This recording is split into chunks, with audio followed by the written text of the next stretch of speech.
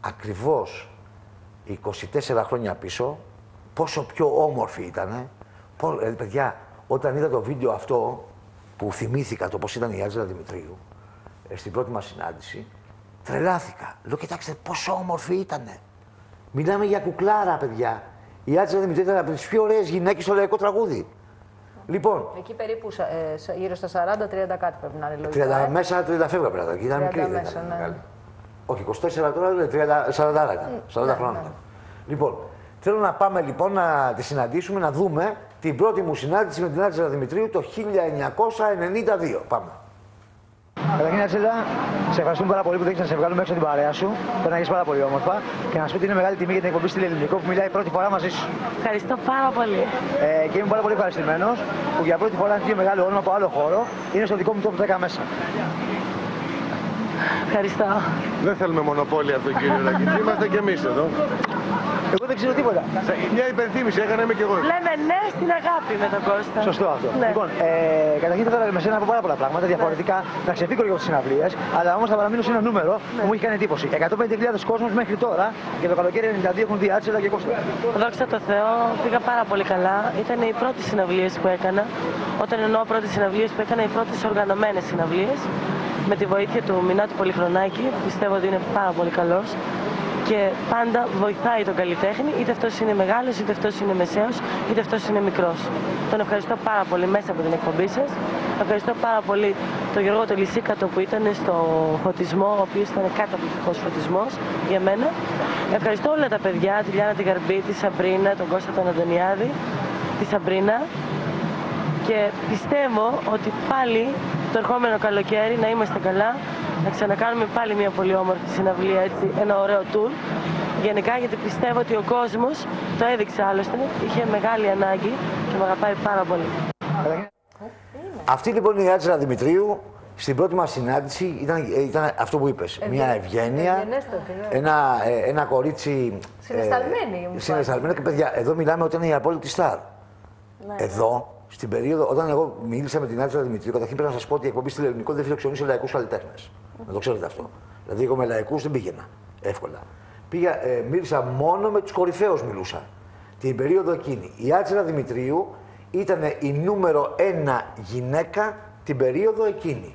Η Άννα Βύση ήταν μια ανερχόμενη δυναμικά ε, τραγουδίστρια τότε, πολύ καλή, αλλά όχι η Άτζελα Δημητρίου. Η Άτζελα Δημητρίου που πήγαινε γινόταν πανικός στην περίοδο εκείνη. Και μάλιστα πρέπει να σας πω ότι την ίδια ακριβώς περίοδο ο, ο αντίστοιχος πρώτος άντρας ήταν ο Λευτέρη Φανταζής. Το ξέρετε. Ήταν η περίοδος που ήταν μαζί ή όχι; Όχι, ήταν πριν. Ήταν... Στη δεκαετία 80 ήταν μαζί. Α. Αλλά εδώ όμως βλέπουμε μια κοπέλα η οποία πραγματικά σου μοιάζει για 30, 28. Ναι, 30, ναι, μικρούλα, μικρούλα. 30-28. Πρέπει να είναι μαυρισμένη, το πρέπει να είναι καλοκαίρι. Ε, εδώ, καλά είναι και σκούρο το πλάνο. Εδώ, το πλάνο. Οκτώβρη, ήταν Οκτώβρης μήνας. Α, ναι. Α, αυτό είναι το πλάνο περίεργο. Πρέπει να ήταν το 91, τον Οκτώβριο του 91 πρέπει να ήταν. Δεν έχει φώτα καλά, γι' αυτό φαίνεται. Ναι, είναι νύχτα. Είναι νύχτα. Ε, στην ίδια ακριβώς ε, πρέπει να σας πω ότι εδώ ήταν η παρουσίαση του σχήματος στο Ρεξ, mm-hmm. Άτζελα Δημητρίου, Κώστας Χαρδολιπρωμένος, Σάκης Ρουβάς. Από το ίδιο ακριβώς σημείο είχα μιλήσει, είχαν και μία συνάντηση με τον ε, Σάκη Ρουβά. Α, ναι, Ρουβά. Δεν είναι η πρώτη μου συνάντηση βέβαια με τον Σάκη Ρουβά εκεί. Έτσι. Ε, η πρώτη μου συνάντηση είχε γίνει στο, στη Φαντασία. Είχε γίνει τότε που κάναμε το εορταστικό του 90 προς 91. Αυτό που βλέπαμε. Ναι, ναι, αυτό που βλέπαμε. Πολύ ωραία. Εδώ είναι ο Κώστας Δουλωμένος, τότε που είχαν προετοιμάσει το ντουέτο, το ναι, ε, μαζί. Είναι, είναι ε, ιστορικές στιγμές για την εκπομπή στη ελληνικό. Ε, αυτό που βλέπετε είναι το Telecity Weekend ωραία χρόνια τότε. Συγκινητικά για μένα. ότι είναι Οκτώβριος, γιατί κοιτάω εκεί πέρα κοντομά... Ε, πολύ καλοκαιρινά φοράτε όλα. Ε, ναι, ε, τέλη Σεπτέμβρη, αρχής Οκτώβριο. Είναι και η αρχή σεζόν. Ναι, ναι, ναι. Το θυμάμαι καλά αυτό. Γιατί καταρχήν φορά κοντομάνικο. Ναι, αυτό κοιτάω. Και μάλιστα πρέπει να σου πω ότι από την άλλη μεριά ακριβώς φοράω και ένα σκουλαρίκι μέχρι εδώ. Σταυρό. Και μάλιστα την ημέρα εκείνη είχαμε πάει μαζί με το ίδιο σκουλαρίκι με τον Χρήστο Δάντη εκεί. Δεν και συζήτηση. Θυμίζει πολύ το δόξα. Όχι, τυχαία, μαζί. Α, όχι, τυχαία. Όχι, σουλάρια φοράγαμε μαζί. Ναι, Α, λίγο το Ποιο; Ο Τσαουσόπουλος κάπως έτσι δεν το λόγο. Ο Τσαουσόπουλος όχι. Αν και ο Τσαουσόπουλος είναι μεγαλύτερος. Ο Μιχα... Ναι, αλλά ο Μιχάλης Τσαουσόπουλος δεν φοράει σουλαρική. Α, δεν φοράει. Σοβαρά. Α, τότε ίσως το μαλλί το. Έτσι, ναι. το... Μάλιστα στη συνέντευξη με τον Σάκη Ρουβά που, παίρνω, που είχαμε δείξει την προηγούμενη φορά, ναι. το σκουλαρίκι φαίνεται κάποια στιγμή που γυρνάω και φαίνεται το σκουλαρίκι.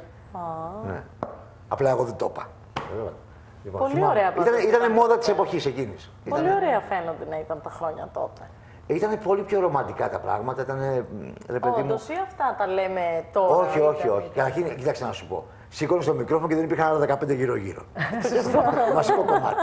ε, λοιπόν, ε, μετά, ε, κάθε συνέντευξη που παίρναμε, ε, βασικά εδώ δεν ήταν συνέντευξη, ήταν συνάντηση. δεν, ναι, δεν ναι, ναι. μιλάγαμε απλά για μουσική, μιλάγαμε για πράγματα ε, δηλαδή δεν έψαχνα να βρω την είδηση, να της πω Α, παιδιά, έχεις έχεις, ναι, ας πούμε, ναι, πλακωθεί, έχει κάνεις.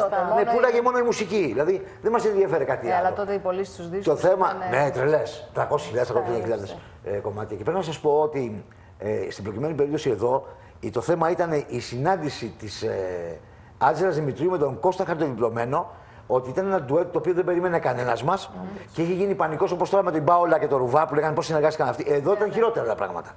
Εκεί να φώναζα εγώ. Μα είναι δυνατόν βρε Κώστα να πας μαζί με αυτήν.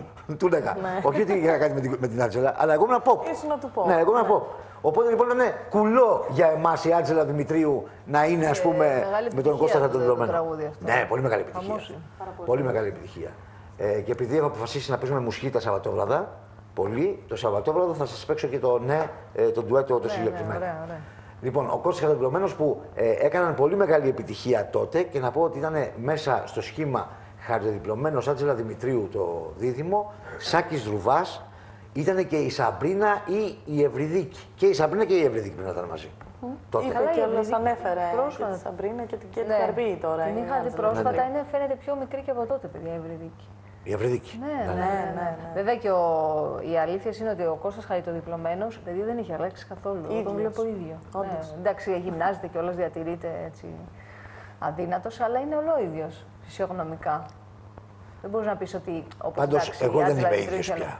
Εσύ το μαλλί αυτό δεν μπορώ να το ξαναφήσω. Μόνο το μαλλί, ναι. Το μαλλί, παιδιά, Το μαλλί κάνει κιλάκι έτσι παραπάνω. Κανένα κιλάκι παραπάνω. Ε, και πολλά χρόνια παραπάνω πλέον. Είναι 24 χρόνια παραπάνω από ό,τι βλέπω τώρα εδώ. 24 χρόνια εμπειρίας. Ναι, ναι, ναι. Είναι, είναι θέμα σοβαρό. Αλλά τι να κάνουμε, τα χρόνια περνάνε, έτσι είναι η ζωή. Ε, το, το θέμα είναι μην μείνουμε μόνο με το χθες. Αυτό. Αυτό είναι το άσχημο. Ευτυχώς το ξέρω Θεό. Να αφήνουμε και τους εαυτούς μας λίγο να γερνάνε.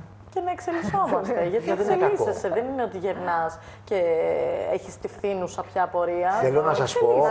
Θέλω να σας πω. Το έλεγα στην Έλληνα αυτό ή προχθές το βράδυ, αντί προχθές που συζητάγαμε που του έλεγα ότι ε, εάν με βαθμολογούσα σαν παρουσιαστή στη δεκαετία 90, θα είχα μείνει στην ίδια τάξη.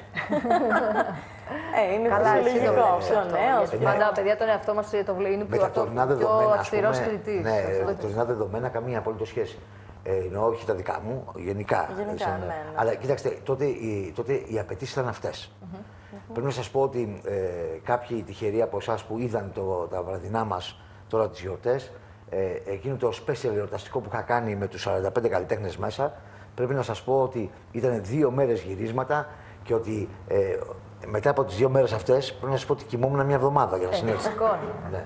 Την υπερένταση. από την υπερένταση και από, το, από την ένταση που υπήρχε μέσα στο χώρο αυτό.